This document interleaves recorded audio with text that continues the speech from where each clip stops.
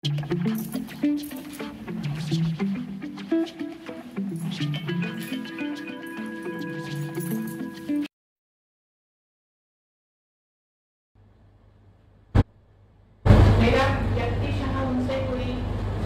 नहीं हुआ, लेकिन मैं कन्याकुमारी में ज्वाइन की थी, उसके बाद चेन्नई में मेरा पोस्टिंग था और वहाँ पे जे के ई के लिए आते थे जाड़े में जब वो हिंदुस्तान आते थे शनिवार रविवार उनका चेन्नई में था तो हमारी उम्र बहुत कम थी कोई बहुत समझ नहीं थी लेकिन एक अजीब आकर्षण था उनमें हम दौड़ दौड़ के पहली लाइन में जैसे ऐसे बैठते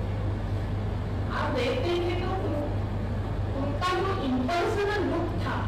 वो बड़ा खींचता था। जैसे हम देखते हैं तो हमारी पर्सनैलिटी आँखों से बाहर आती है उन्हें देखते थे, लेकिन इम्पर्सनल कोई देख रहा है, ऐसा नहीं वो बड़ा आकर्षण हमें आइडोली आइडॉल होते हैं ऐसे छोटे से थे।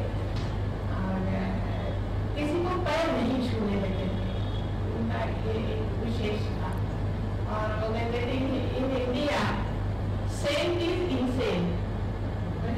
mattress है यही उनका कहना था सेम इज़ और ये सब उनको अच्छा नहीं लगता था लेकिन सबसे स्ट्राइकिंग चीज़ उनमें ये थी कि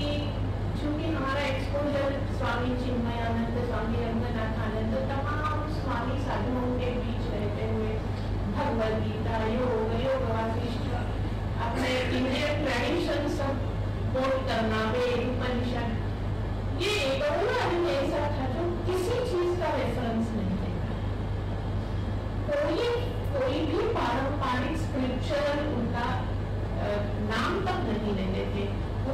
सीधा कंसर्न था व्हाट इज़ फियर सबसे बेसिक चीज़ फियर हम सब लोग, इन सबसे बेसिक चीज़ फियर है और उसी पर उनका पहला, दूसरा फ्रीडम तो इस तरीके के उनके टॉपिक्स होते थे, जो एक कन्वेंशनल स्पिरिचुअल आदमी से एकदम अलग थे। और वही चीज़ हमको ज़्यादा खींचती थी उनके पास। समझ में कोई बहुत आता नहीं था, ये भी उतना ही सही है। जैसे जैसे हम अपनी उम्र पार करते हैं वैसे वैसे समझ बढ़ती है तो जब मेरा बेटा मुझसे दूर हो गया एकदम वैक्यूम हो गई? तब वो लोनलीनेस उनको कहते थे वो लोनलीनेस तो मैंने फिर से कृष्ण मूर्ति को सुनना और पढ़ना प्रारंभ किया? और उसी के बाद अब मैं ज़िक्र करूँगी नारायण पर कोई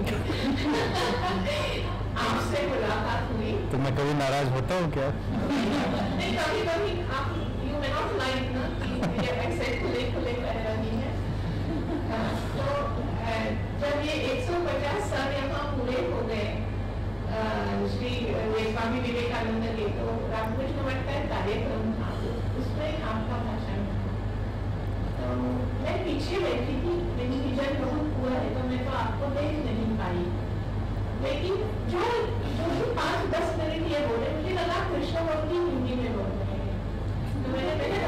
मुझे उनके पास ले चलो गई और मैंने पूछा आप है कहाँ कि मैं लखनऊ में मैं मैं लखनऊ में हूँ तो मुझे इतना अफसोस हुआ इतने सालों से मैं लखनऊ में हूँ कभी मुलाकात क्यों नहीं हुई और फिर मैंने पता पूछा और बाद में आके मिली तो मिलने कि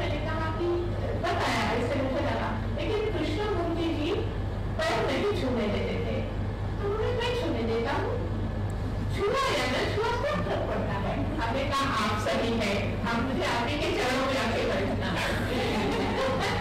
ये मेरे लिए बहुत बड़ा था तब से मैं